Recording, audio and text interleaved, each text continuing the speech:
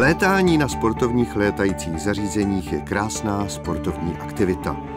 Klade však velmi vysoké nároky na vhodnost počasí a tedy i na teoretické znalosti pilotů v oblasti meteorologie. To se týká také pilotů těch nejdostupnějších forem létání, mezi které patří i paragliding. Účelem tohoto filmu je přiblížit vám alespoň ty nejzákladnější principy dějů v atmosféře, které ovlivňují naše létání.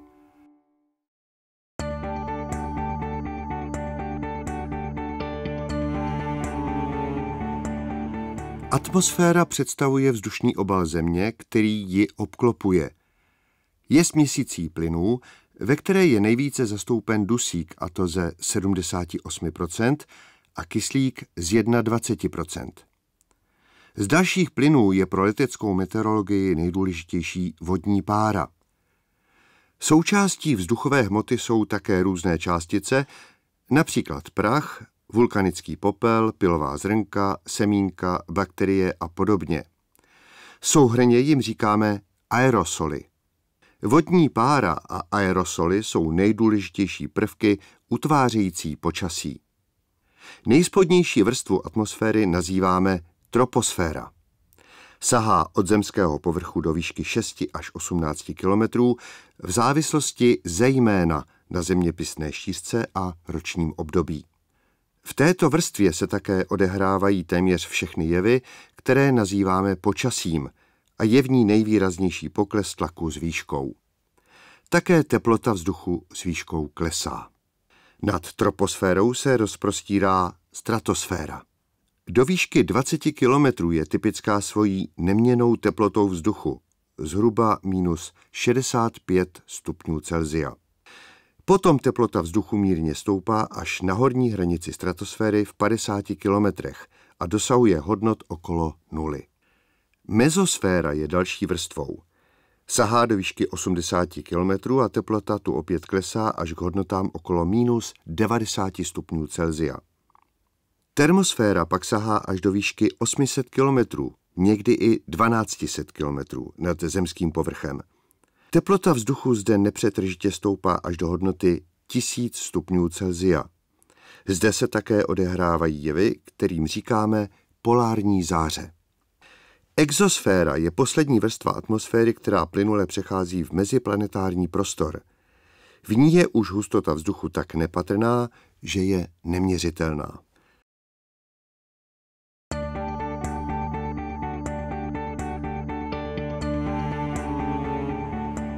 Atmosférický tlak je jednoduše řečeno tíha celého sloupce vzduchu od země do výšky, kam až atmosféra sahá. Tento tlak samozřejmě působí na předměty, zvířata i lidi ze všech stran.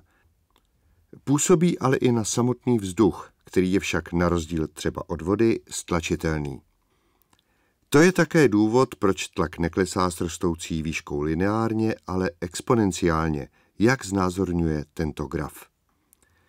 Zapamatujme si, že u hladiny moře je vzduch přibližně 1000 hektopaskalů, dále pak klesá o polovinu této hodnoty na každých 5500 výškových metrů. Nejvíce jsou stlačeny spodní vrstvy atmosféry, protože mají nad sebou nejvyšší sloupec vzduchu. Třeba na Mont Blancu by byl atmosférický tlak vzduchu už jen téměř poloviční než u moře.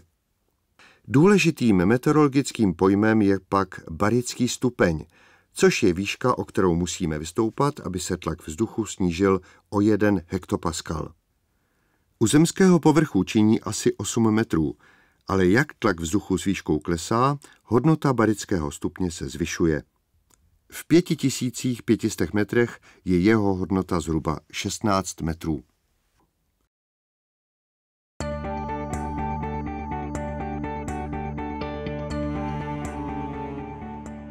Hmotnost jednoho krychlového metru vzduchu činí u hladiny moře asi 1,2 kg. Mírnou hmotnost nebo také hustotu vzduchu ovlivňuje zejména atmosférický tlak. Tedy, čím je vzduch blíže hladině moře, tím je stlačenější a těžší. Se vzrůstající výškou je vzduch stále řidčí a jeho hmotnost se snižuje. Hustotu a tím i hmotnost významně ovlivňuje kromě tlaku i teplota a obsah vodních par. Studený vzduch je těžší než vzduch teplý. Vlhký vzduch je o něco huščí než suchý. Vzduch se ohřívá nebo ochlazuje buď vnějším zdrojem, nebo stlačováním a rozpínáním. V případě, kdy dochází ke změně teploty určitého objemu vzduchu jeho stlačováním nebo rozpínáním, hovoříme o adiabatickém ději. Tento jev má velký význam pro vznik termické konvekce a oblačnosti, o kterých bude později řeč. Je důležité si zapamatovat, že když se vzduch od země ohřeje, rozpíná se, stoupá a ztrácí tak svou teplotu.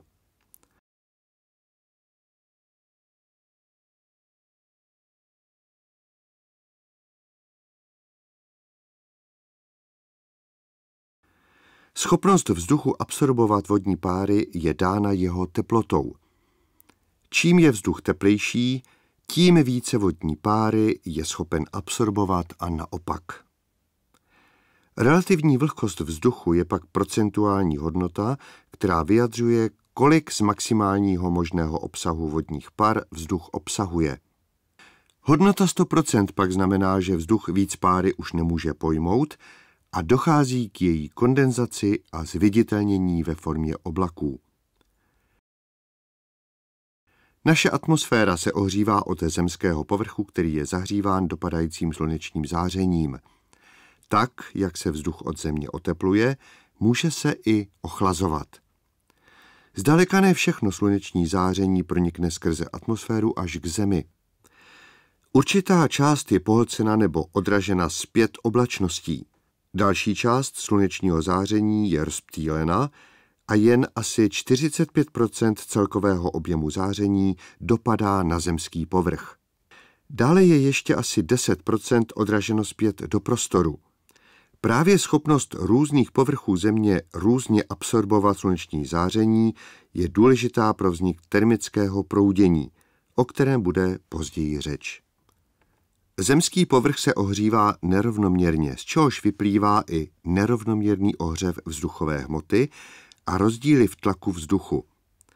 Vzduch je touto nerovnoměrností tlaků nucen k pohybu z oblasti vyššího tlaku vzduchu do oblasti, kde je tlak vzduchu nižší. Tak vzniká vítr. Směr větru se udává podle toho, odkud vítr vane. Pokud vane vítr od západu, potom hovoříme o západním větru. Pokud se vzdušná masa pohybuje od jihovýchodu na severozápad, potom hovoříme o jihovýchodním větru. Často se setkáváme s různými hodnotami, které udávají rychlost větru. Jako piloti potřebujeme znát tyto základní přepočty, zejména kilometry v hodině na metry za sekundu a noty na metry za sekundu. Jeden kilometr v hodině se rovná žádná celá 28 setinám metrů za sekundu. Jeden not se rovná žádná celá 52 setinám metrů za sekundu. Zjednodušeně si pro přepočítání z hlavy můžeme pamatovat, že kilometry za hodinu dělíme třemi a dostaneme metry za sekundu. Údaje o síle větru nebo rychlosti v notech vydělíme dvěma a získáme metry za sekundu.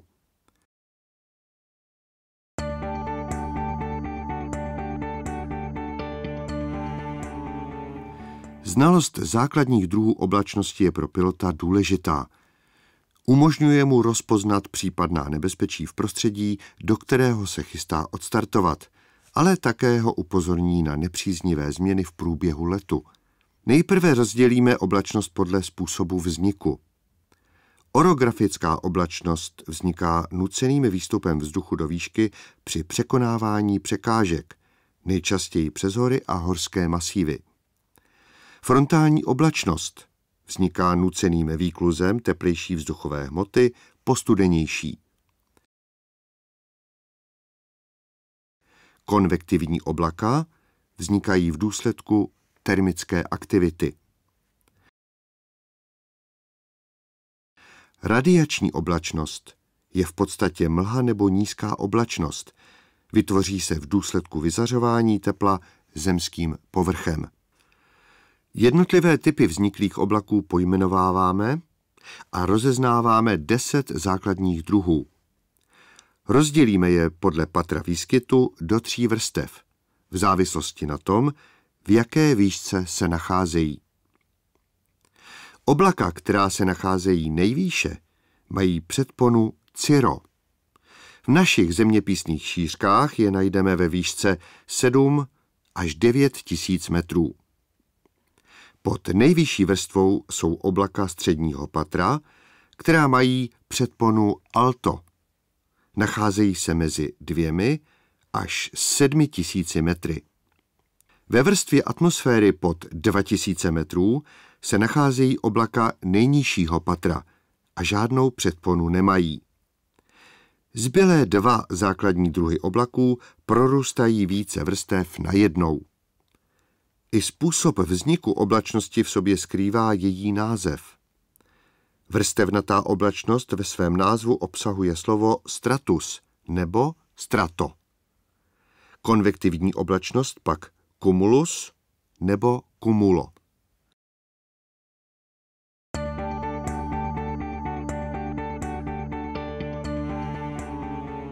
Přístroj, který měří tlak vzduchu, se nazývá barometr a udává údaje v jednotce zvané hektopaskal.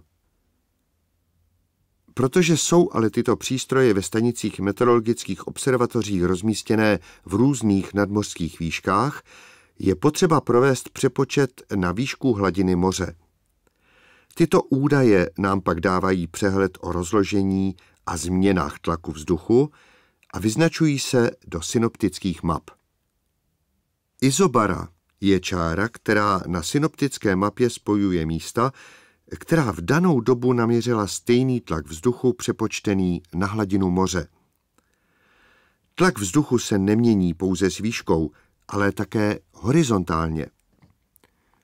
To, o jakou hodnotu se změní tlak vzduchu mezi dvěma body, je horizontální barický gradient. Je-li rozdíl tlaků malý, je malý i barický gradient a dá se očekávat slabý vítr. Je-li rozdíl tlaků velký, izobary jsou hustě u sebe a vítr fouká vždy velmi silný. Synoptická mapa je mapa, na které jsou zakresleny izobary. To znamená, že je z ní patrné rozložení tlakových útvarů a horizontální barický gradient. Tímto nám naznačuje, jaké počasí na kterém místě bude panovat a jak silný vítr bude foukat. Také nám ukazuje rozmístění a předpokládaný pohyb atmosférických front. Teplá fronta se značí půl kruhy, studená fronta trojúhelníky a okluzní fronta je pak kombinací těchto dvou značení. Tlakový útvar zvaný cyklóna, tedy tlaková níže, je oblast se sníženým tlakem vzduchu přičemž tlak vzduchu v jejím okolí je vyšší než tlak uvnitř oblasti. Na synoptických mapách musí mít alespoň jednu uzavřenou izobaru a označuje se písmenem N, v angličtině pak L. Protože je ve středu tlakové níže nejnižší tlak, proudí vzduch od jejich okrajů do jejího středu. Vzduch v cyklóně rotuje na severní polkouli směrem proti pohybu hodinových ručiček – při zemi se vzduch do tlakové níže zbíhá a vystupuje vzhůru. V tlakových nížích převládá oblačné počasí s trvalějšími srážkami a často i se silným větrem. Vůbec nejdůležitější v souvislosti s cyklónou je fakt, že je to oblast vzniku atmosférických front.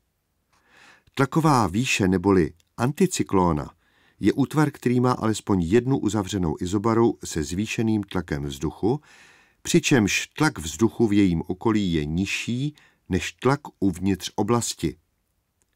Na synoptických mapách má ve svém středu označení V, v angličtině pak H. Protože je ve středu tlakové výše nejvyšší tlak, proudí z něho vzduch směrem k jejímu okraji. Celá anticyklona na severní polokouli rotuje ve směru hodinových ručiček. Vzduch se v tlakové výši sesedá, vysušuje se a uniká do oblasti tlakové níže. V tlakových výších převládá většinou slunečné počasí, avšak zejména v zimě je tlaková výše místem vzniku inverzí či nízké oblačnosti a mlhy.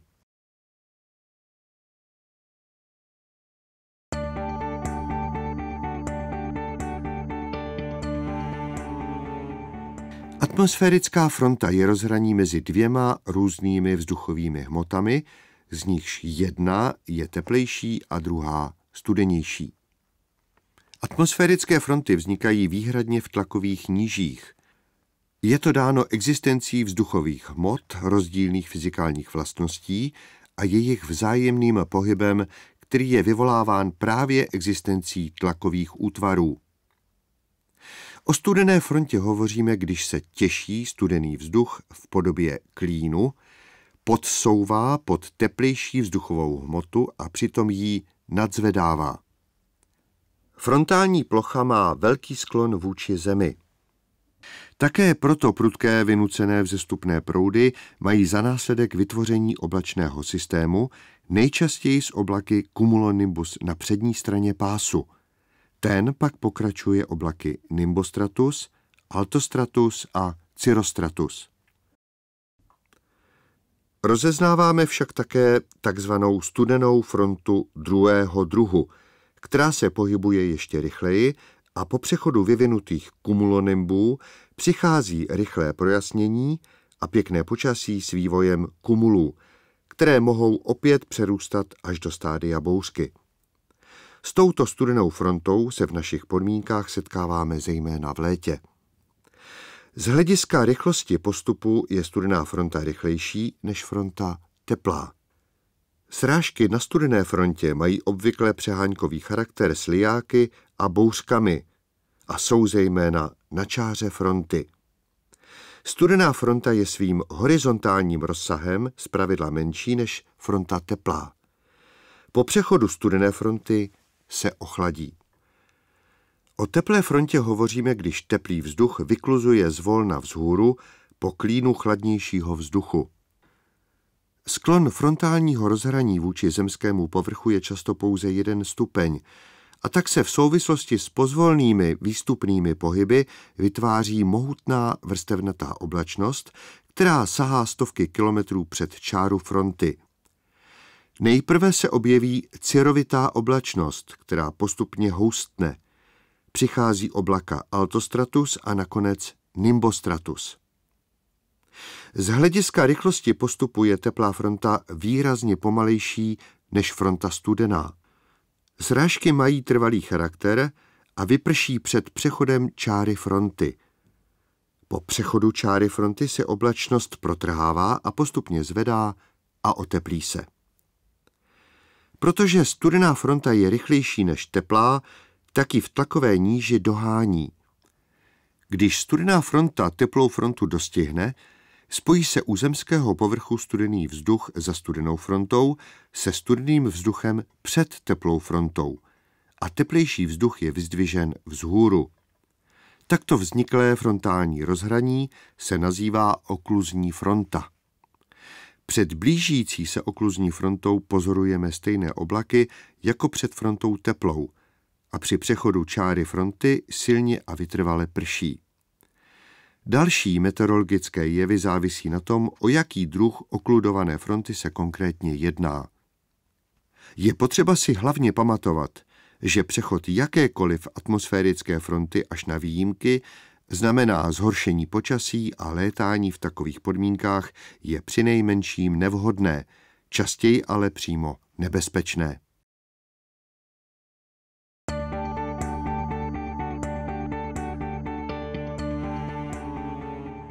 Proces rozpínání a ochlazování vzduchu s výškou se nazývá adiabatický děj.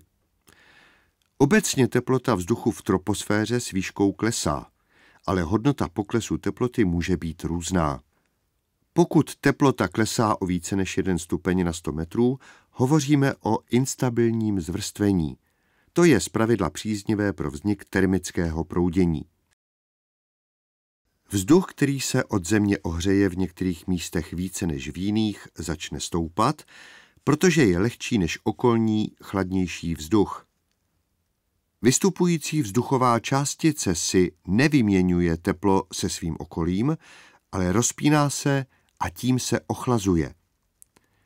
Vzduchová částice bude stoupat do té doby, než dosáhne teploty shodné s okolím.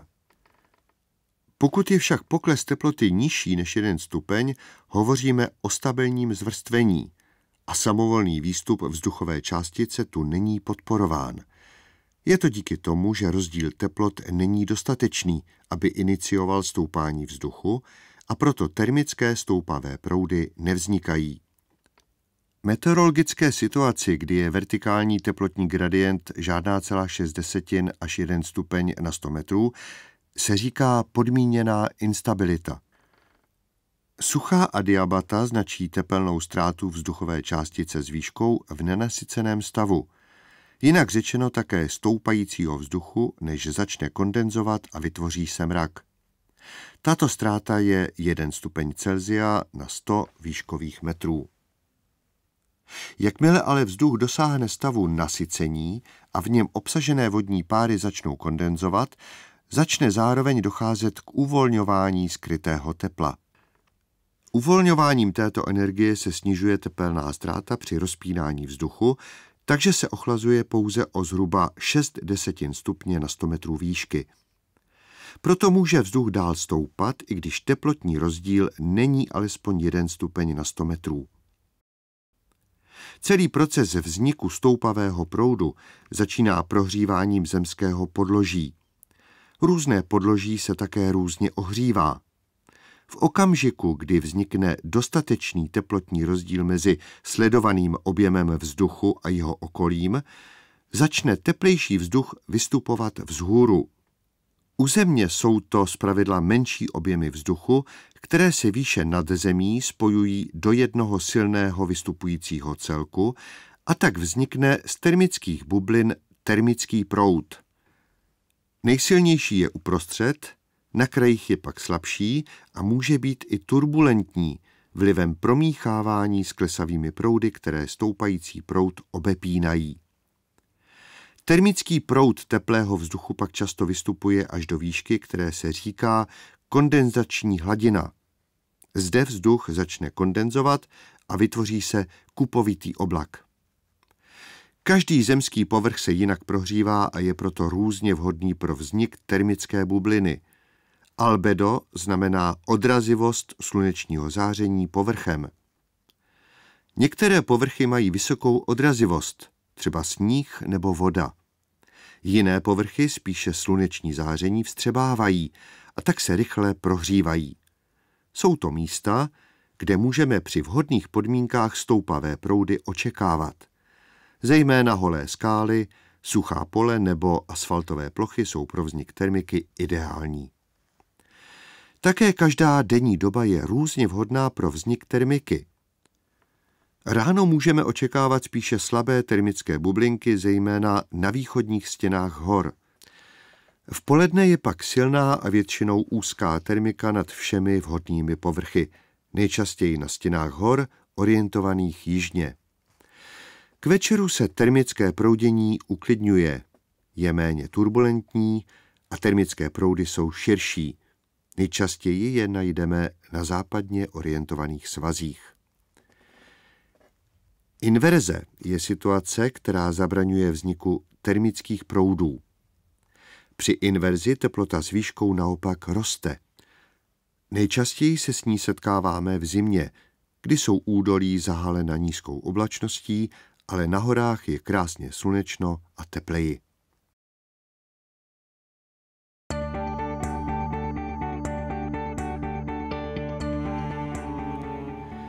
Turbulentní proudění je neuspořádané, chaotické, při kterém vznikají vzdušné víry. Pro pilota padákového kluzáku může být velmi nebezpečné. Rozeznáváme tři základní druhy turbulencí. Mechanická turbulence je způsobena prouděním vzduchu přes překážku. Můžou to být hory, ale třeba i dům nebo strom.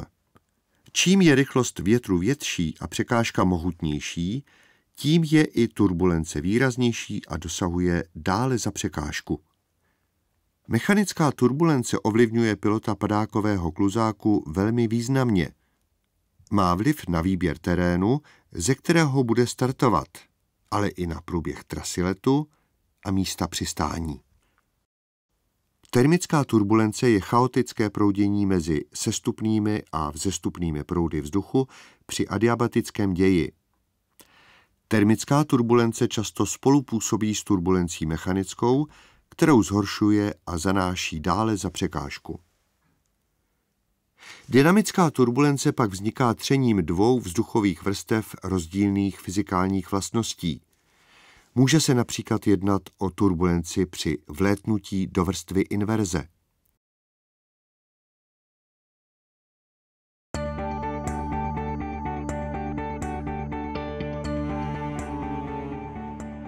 Sílu a směr větru na svahu výrazně ovlivňuje termické proudění. V horách má denní a noční chod proudění při ideálním letovém počasí zpravidla svůj specifický průběh. Denní chod proudění se nazývá anabatické. V noci pak nastupuje katabatické proudění. Přiblížíme si horskou cirkulaci po jednotlivých částech dne. Ráno, když vyjde slunce, začnou se pomalu ohřívat svahy, které jsou nakloněné směrem ke slunci, tedy především svahy východní. Vzduch se od těchto svahů začne zahřívat a pomalu stoupat. Středem horského údolí pak ještě pomalu stéká těžší studený vzduch z horských vrcholků – před polednem pak zesiluje termické proudění, které v této denní době nalezneme nejčastěji na jižně nakloněných svazích hor. Popoledni pak síla termického proudění vrcholí a vzduch z údolí je termickými stoupavými proudy odsáván. Odteklý vzduch je pak nahrazován vzduchem, který proudí středem údolí. Právě popolední v údolích prudce zesiluje vítr, i když ve větších výškách může být téměř bezvětří. V odpoledních hodinách se termické proudění uklidňuje a termické stoupavé proudy nalezneme zejména na západních svazích hor, které jsou nasvíceny sluncem. Síla údolního větru však v tomto čase vrcholí. K večeru pak stoupavé termické proudy ustávají a terén se ochlazuje. Vzduch se ochlazuje od terénu a jako studenější a těžší začne klesat dolů do údolí a nastává takzvané katabatické proudění. V noci se pak ochlazuje veškerý vzduch, který klesá směrem do údolí a ustává i proudění jeho středem.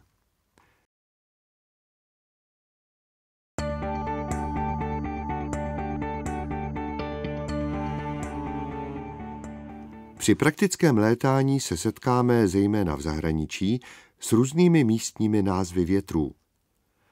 Tyto vzdušné pohyby jsou vázané buď na konkrétní místo, nebo je to zvláštní jev vázaný na určitou situaci. Popíšeme si ty nejzákladnější. Brýza je vítr uzavřené místní cirkulace, který vzniká v pobřežních oblastech – ve dne se terén pobřeží nahřeje od slunce a teplejší vzduch začne stoupat. Je nahrazován studenějším vzduchem nasávaným od vodní hladiny a tak vzniká vítr směrem od moře. Po západu slunce se terén ochladí a naopak je teplejší vodní hladina. Celý proces se obrátí a vítr vane naopak z pevniny nad teplejší vodní plochu. Brýza je pro létání vhodná a bezpečná. Bora je místní vítr, který vzniká v důsledku pohybu studeného vzduchu z náhorních planin směrem k pobřeží. Situace vhodná pro vznik bory nastává, když je tlaková níže nad teplou jižní částí Jadranu a přes náhorní planiny postupuje studená fronta. Bora je velmi silný, nárazový a takzvaný padavý vítr. Létání při boře není možné. Fén je označení pro nápadně teplý, suchý a nárazový vítr, který vane v závětří hor z vrcholků do údolí. Tento vítr má svoji příčinu v adiabatickém procesu, během kterého se vzduch na návětrné straně pohoří při výstupu ochlazuje a skondenzuje. Vznikne mohutná oblačnost, ze které často vytrvale prší. V závětří při sestupu se vzduch rychleji otepluje, než se ochlazoval a je suchý. Panuje zde sluné počasí. Fénová situace je pro let nebezpečná a je rozpoznatelná přítomností oblaku Altocumulus lenticularis.